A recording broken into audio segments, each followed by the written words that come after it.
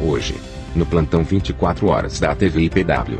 Nesta terça 2 de março do ano 2021, às 20 horas, de forma virtual, iremos transmitir ao vivo a reunião com o prefeito do dia Secretaria de Saúde, Miriam, para debater sobre o funcionamento do comércio a partir de amanhã.